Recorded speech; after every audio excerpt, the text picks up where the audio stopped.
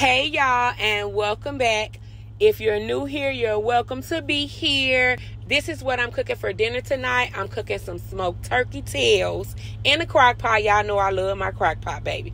I, I can't let it go. So what I did was I filled it half with water. I dropped my turkey tails over in there. I added lemon pepper, garlic powder, crushed red peppers, a Sazón pack. Don't forget to add your black pepper. And then I fill the water. Make sure the meat is submerged in the water. Put the lid on, turn it on high, y'all. Let it cook for about four hours. I did four hours and 20 minutes, and I'll tell you why. So, as you can see, they're falling apart right in front of your eyes. Like, what? Meat tender and juicy, y'all.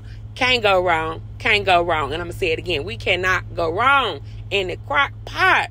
Make sure you dip all your meat out. Now, it goes good with beans any type of beans, black eyed peas, pinto beans, even lima beans, y'all. But I chose to use the egg noodles.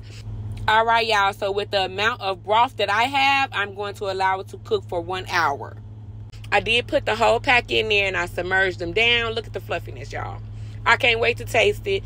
Oh my God. So then I put my meat back in there because I need the temperature. I need my meat to be hot and warm. So, you know, I don't have to drop it in the microwave because we ain't here for that, y'all, right?